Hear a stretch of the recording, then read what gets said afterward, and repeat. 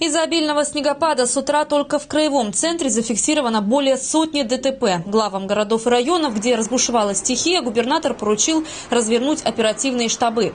А все коммунальные службы должны перейти на круглосуточный режим работы. Особое внимание Ткачев акцентировал на расчистку дорог в Краснодаре.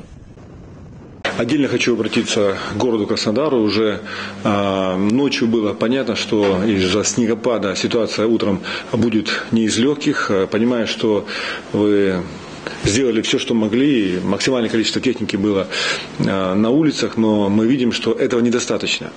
А, люди жалуются, по-прежнему жалуются на состояние дорог, тротуаров.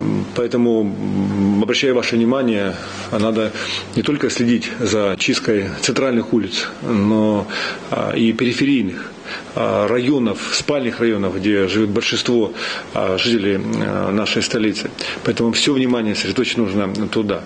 Тем более, что снег будет идти с такой же интенсивностью, а не только сегодня, но и завтра до обеда. Поэтому мы уже сегодня привлечем э, для уборки снега в Краснодар технику из других муниципалитетов а, для того, чтобы эту работу проводить более эффективнее. По данным городской администрации, со вчерашнего вечера на улицах кубанской столицы работают почти 50 машин и 400 человек.